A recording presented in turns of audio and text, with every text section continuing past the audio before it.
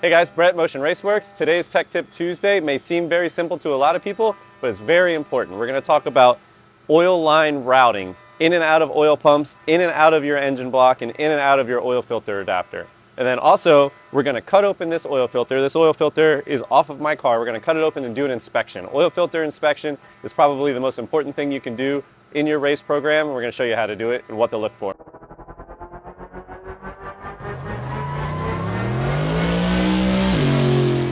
Okay, so if you've just ordered and seen for the first time or you've used these style of components before, oil system components are marked in and out. It's marked in and out on the filter housing, it's marked in and out on your dry sump pump, and these labelings are in correspondence to oil flow. So I've seen a lot of mistakes get made in the past uh, with running lines from your engine to your filter, from your pump to your filter, and you just have to think about it a second, okay? So basically, what this represents is the flow of the oil. This piece here goes, this is for a Coyote, this is a FluidWorks part that we make. This is, goes on the engine block where the factory oil filter housing goes for a remote style filter. So you're gonna use this if you use a dry sump system, or you're gonna use this if you use a factory oil pump. So all of these components can be used together or they can be used separately that's why they're not labeled like A and B and things that may make more sense to a lot of people. But this system's been around forever. Everyone uses it. And you just gotta think about it for a second of where's the oil flowing. All right, so we're gonna start with the engine block adapter on a factory style engine. There is no dry sump system. The oil pump is inside of the engine, picking the oil up from the oil pan. Oil picks up from the oil pan, goes through the oil pump, and it's going to flow out of the engine. That's our outline.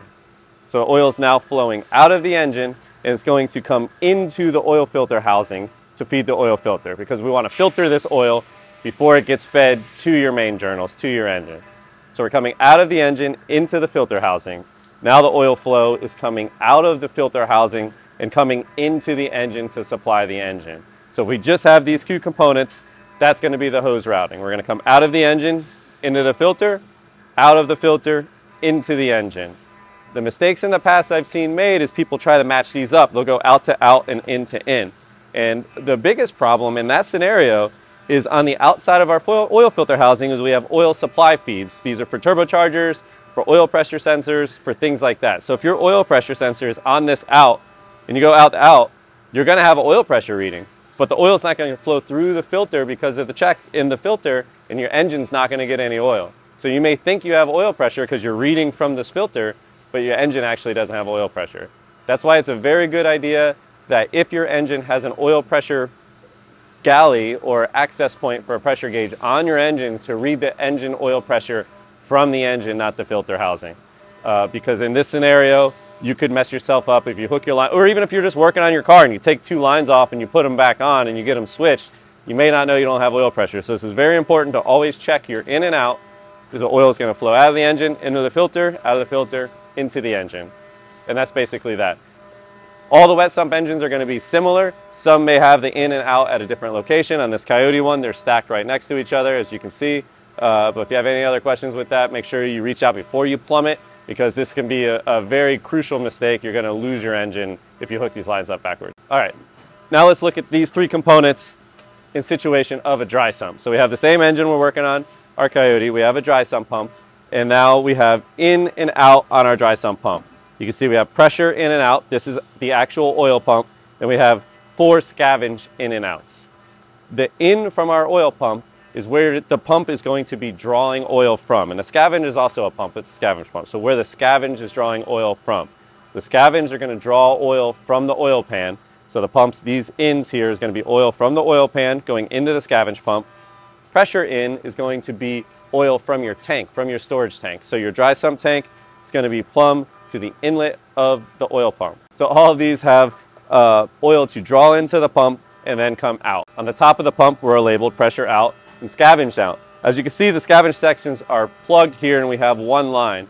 These are our manifold internally of this pump. So all of these pumps have a passage that flow oil up to this pump to the exit. This is going to go to the top of your dry sump tank. If your dry sump tank has two returns on the top, you can take any of these plugs out and put another fitting in. Um, you can run as many as you want, but I don't, I don't know of a tank that has more than two. Uh, tank I run has two, And you can also move these around. If you want to move this fitting back here for line clearance, you put the plug up here because in the top of these sections, they're all, like I said, manifold together. So it doesn't really matter where you move this fitting. If you run one or two fittings, um, just remove the plug, get the fitting from us, and then put it in there. Pressure out. This is our important one, right? So we're going to come out of our oil pump. So before our oil pump was in the engine, now our oil pump's external of the engine. So we're going to come out of the oil pump. First thing we want to do, filter the oil. Oil is going to come out of the pump, come into the oil filter, come out of the oil filter, and into the engine, okay? But now we have an extra port, just capping that. The oil pump's removed from inside of the engine, so this oil galley goes to something that doesn't exist. It's not tied into any other oil galleys. So on a Coyote engine, you don't have to do anything else internally, uh, but to just cap this plug here, as it's just gonna be open to the engine. So out of the filter, into the engine, you got oil pressure. Good. Gonna briefly talk about the hose to use in these systems. It's very important that you use the correct hose in a dry sump system, uh, even more so than a wet sump system because the pump's internally. But these pumps here draw a lot of vacuum. These are powerful pumps, and if you use the incorrect hose, it's gonna collapse the hose and suck it closed. We sell Fragola hose at Motion Raceworks. We have the um, all of the PTFE braided hose is rated to vacuum, and it won't collapse. Uh, but if you're using other brands hose, if you're not sure, if they don't have the spec listed on their website, call them and ask them. You want to make sure that you use a hose that is vacuum rated that won't collapse. All right, next thing we're to do is we're to cut this oil filter open for inspection. This is a practice that you should get into with your engine every time you remove the oil filter or anytime that you have a new engine and you want to check the life of your engine, see how it's, how it's going. Um, you can see things in the filter before the damage occurs, okay? So this is one of those things that you're gonna have to get accustomed to. It's kind of like coolant pressure or crankcase pressure every oil filter is going to look a little different. So if I compare to my friends or compared to another engine that's been built, how long the engine's been in service, uh, the materials used in that engine, the ring type in that engine may create a little different metal from engine to engine. But what you want to do is kind of catalog your findings and then keep them in comparison to what you pulled out before. Okay, uh, new engine, new engine assembly, there, there's pretty much guaranteed always going to be a little material in your filter.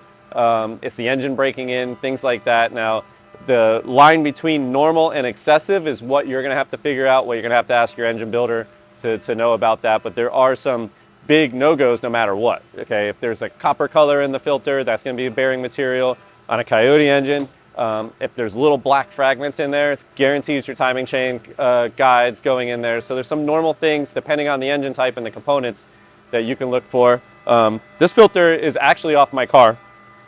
It's been ran. So we're gonna cut it open and see what it looks like.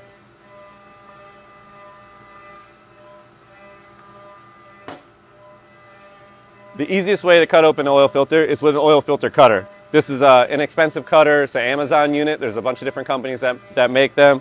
Uh, if you're in a pinch, I've seen people use like tin shears and cut around the top or even a Sawzall. And you say, oh, a Sawzall is going to create a lot of metal, but I've done that before and you kind of basically know the Sawzall metal. It's not embedded in the filter, it's kind of on the outside. But we're just going to cut along the top of this ring. Um, it's kind of like a food can. And then we're going to take the filter element out.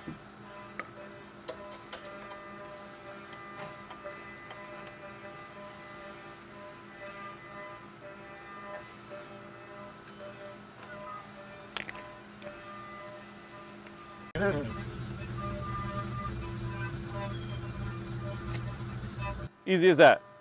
Cuts it open, it does a nice job. And then we have our filter element. We're gonna pull this guy out. Now he's been draining for a while, so the filter's pretty, pretty drained out. The other thing you're gonna do is you're gonna peek in the bottom of this housing. A lot of the heavier stuff may fall out of suspension off the filter and go into the bottom of the housing. So you can look in there, kind of see what you got going on. This one has a little bit of aluminum in it. Uh, like I said, you'll have to determine with you and your engine builder what is normal and what isn't normal, but that's basically the situation there. So now we have the actual filter element. This probably looks, if you've never seen inside of an oil filter, they all pretty much look exactly the same. The oil, when it comes into your adapter, goes down through the holes in the top, comes around the outside of the filter, same as like a fuel filter. The oil is then filtered through, and then your clean pressure oil comes out. So if you ever have an oil filter adapter and say the markings got worn off and you're unsure, you can basically just take a look at the oil flow and where the port is running, and you'll know which way is the in and which way is the out. The oil is going to come in, run around the outside of the filter, and then your clean pressurized oil is going to come out of the center. We'll get a close up here, but from here, now we can look down into the filter element, see what kind of material we have uh, built up or what we don't have built up, and then make a decision or at least note the condition of our engine or what we feel like. Another thing that you can do is you can actually remove these top pieces and the bottom pieces and lay the filter out flat. It's just an accordion straight piece of material um, and that way you can really inspect it.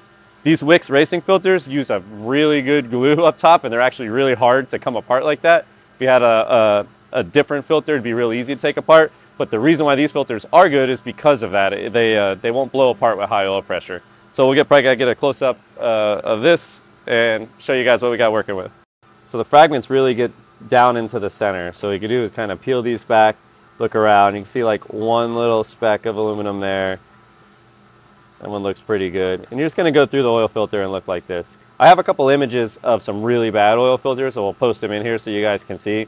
But when these things are bad, you're gonna know they're bad. Like if you're looking in here and you're like, oh, there's one tiny little piece of aluminum, you're in good shape. When these things, you got a bearing issue, you have something making contact somewhere, there's going to be a lot of material in this filter and it's going to be pretty obvious. Okay, so that's it. Like I said, simple but very important. You just want to visualize the oil flow. It's coming out of the oil pump, out of the engine into the filter, and then back into the engine. If it helps you to like draw a little diagram uh, before you do your plumbing, maybe do that. But again, just visualize the way the oil is flowing and you won't make a mistake. That's the easiest way to do it.